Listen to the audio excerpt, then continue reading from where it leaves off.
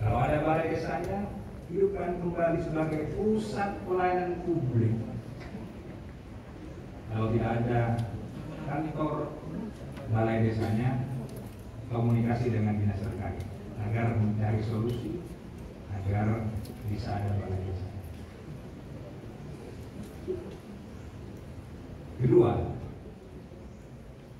seperti apa yang saya sampaikan di awal, ada rambu-rambu, maka harus berada regulasi peraturan perundang-undangan tentang desa. Semakin besar anggaran desa yang diterima dari dana desa, maka semakin besar resikonya. Semakin besar resikonya. Agar benar-benar memperhatikan aspek hukum agar bisa tidak terjerat oleh kasus hukum. Ketiga, saya ingatkan pandemi COVID belum berakhir. Saya melihat masyarakat di desa sudah mulai tidak pakai masker lagi. Ini menurut laporan Pak Kapolres dan Dem. Hati-hati, ini masih belum selesai terus didorong untuk mematuhi protokol kesehatan. Karena saat ini kita masih menunggu dan berhati-hati untuk mengantisipasi gelombang-gelombang berikutnya. Dan jangan lupa vaksinasi harus terus didorong agar masyarakat bisa mendapatkan herd immunity. Keempat,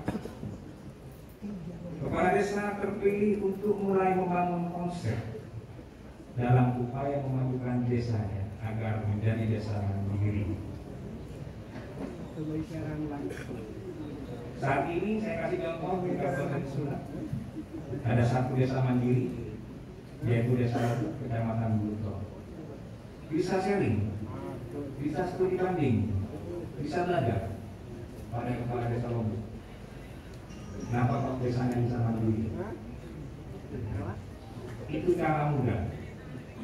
Cara mudah, serius.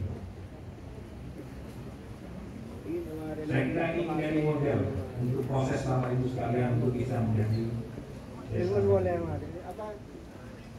Kelima, keterkaitan dengan hal-hal struktural administrasi Sekali lagi koordinasi dengan dinas DPMD. Jangan berkoordinasi setelah ada masalah. Contoh kes kasus tiba-tiba memberhentikan perangkat, tiba-tiba mengeluarkan aturan-aturan peraturan desa. Nah, ini tolong diingat. Sekali lagi koordinasi kaitan hal-hal kebijakan.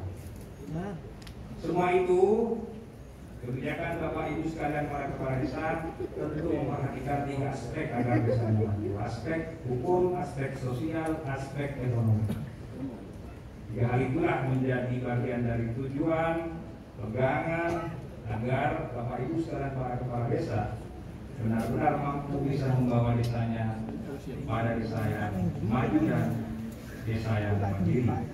Tentu seiring dengan visi misi bupati dan wakil bupati Sumeneb kaitannya dengan pelayanan publik yang lebih baik ke. Bapak Ibu sekalian yang saya hormati, itulah beberapa hal-hal yang bisa ingin saya sampaikan. Yang paling terakhir, ucapan terima kasih.